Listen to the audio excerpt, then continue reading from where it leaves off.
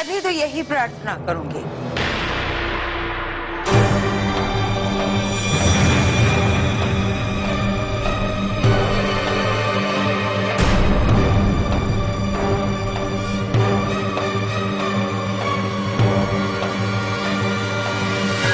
नमस्ते दीदी।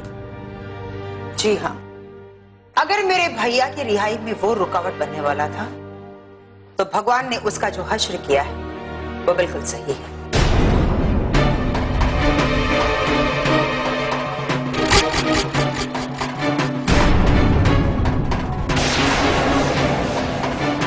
अरे ज्योति, तुम आने से पहले एक फ़ोन तो कर दिया होता। बता तो दिया होता कि तुम आ रही हो। नमस्ते भाभी। मैंने तो आपको बताया था। आपने यहाँ किसी को नहीं बताया क्या?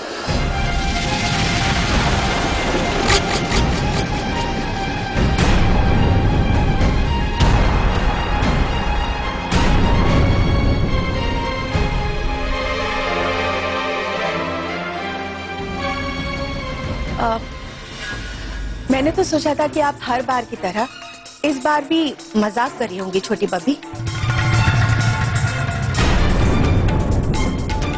क्योंकि आप आने के लिए तो कहती हैं, लेकिन आपके पास आने के लिए वक्त नहीं होता।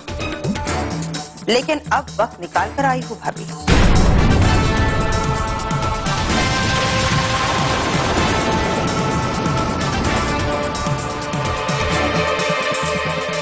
इस ज्योति ने ससुराल में तो उजाला फैला दिया है।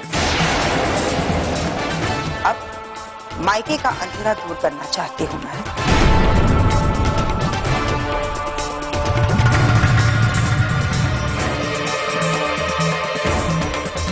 नहीं दीदी, यहाँ पे कोई अंधेरा नहीं है। किस अंधेरे की बात कर रही हैं आप? मुझे तो लगता है मधुरिमा कि यहाँ सब अंधेरे में है। मेरे भैया जेल की अंधेरी कोठरी में होंगे।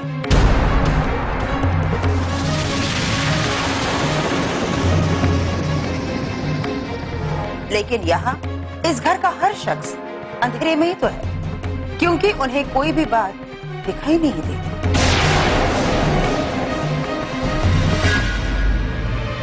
आप क्या ये कहने आई हैं बुआ, कि हम लोगों को पापा की फ़िक्र नहीं है? या ये एहसास दिलाने आई हैं कि पापा की फ़िक्र सिर्फ़ आपको है?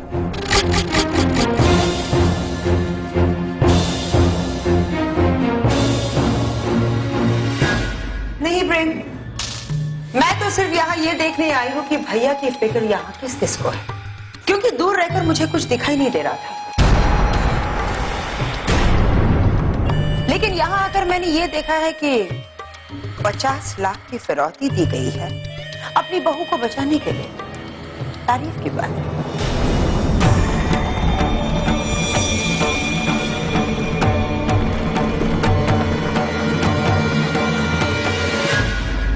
देखो ज्योति हालात के साथ चलना सबकी मजबूरी होती है बेटा। कभी कभी इंसान मजबूर होता है बाबूजी। लेकिन कई बार इंसान मजबूर होने का दिखावा भी तो करता है।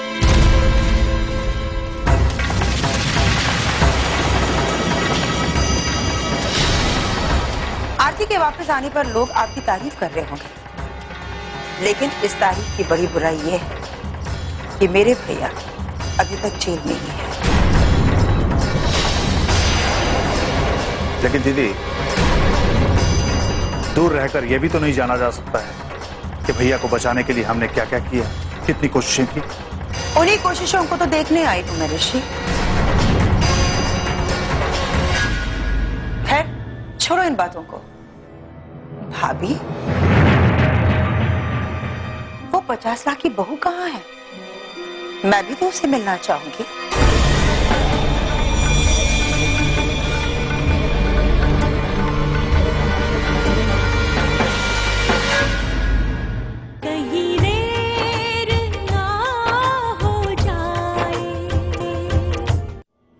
देखो तो सही कि मेरे प्रेम ने कैसी बहू ढूंढी है। जिसके लिए यहाँ हर कोई इतना परेशान है।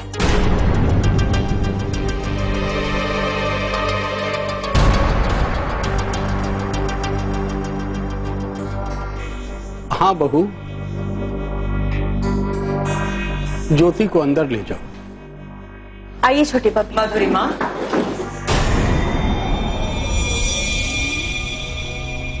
मेरा ये बैग मेरे कमरे में रख दो। और हाँ कमरे की सफ़ाई भी करना, है। क्योंकि मैं यहाँ कुछ दिनों के लिए रुकने वाली हूँ। समझे तुम? जी दीदी।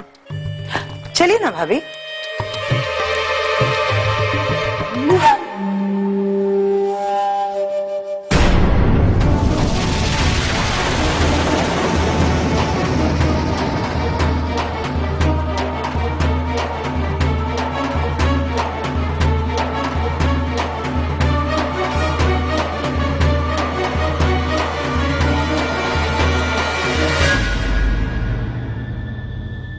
सोमनाथ के बारे में कुछ पता लगा?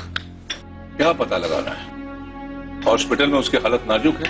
कभी भी उसके मौत की खबर आ सकती है। मैं ये पूछ रही थी कि क्या इस बारे में कुछ पता लगा कि उस पर गोली चलाने वाला कौन था? कैसी बात कर रही हो तुम?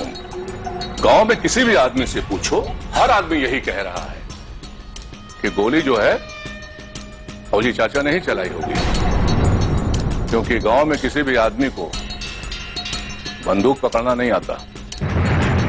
लेकिन उनका तो कहना है कि बंदूक उनके घर से चुराई गई है। खुद को बचाने के लिए। अगर उसकी जगह पे कोई होता तो वो भी यही करता। क्या ऐसा कभी होता है कि बंदूक उसी दिन उसी वक्त चुराई गई हो? जब प्रेम सोमनाथ को पकड़ कर ले जा रहा था क्या बंदूक चुराने वालों को यह बात मालूम थी?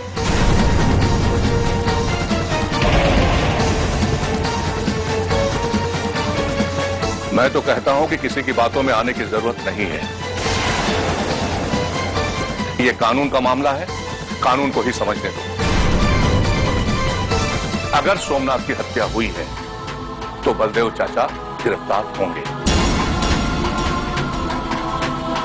क्योंकि सारे सबूत पुलिस के हाथ आ चुके हैं।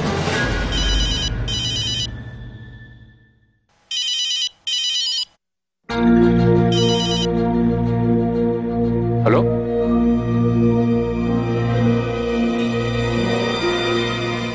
हाँ हाँ बोलो।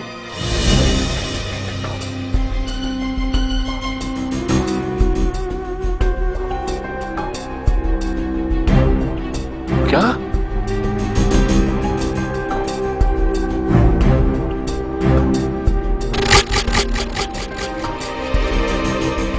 क्या बात है? किसका फ़ोन था? हॉस्पिटल से खबर है कि सोमनाथ नहीं रहा। क्या? हाँ डॉक्टर सोमनाथ को नहीं बचा पाए। मंगल और उसके घर वाले उसकी लाश लेके आ रहे हैं।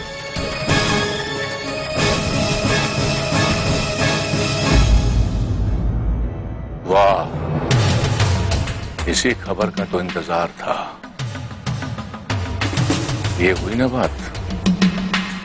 यानी जो काम धनंजय जी ने मुझे दिया था वो पूरा हुआ।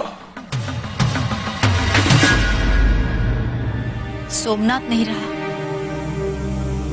और उस पर गोली चलाने का इल्ज़ाम बलदेव चाचा पर है। इल्ज़ाम नहीं सच्चाई है। कानून की नज़र में आज बलदेव चाचा सोमनाथ के कातिल हैं। तो कानून उन्हें सजा ज़रूर देगा।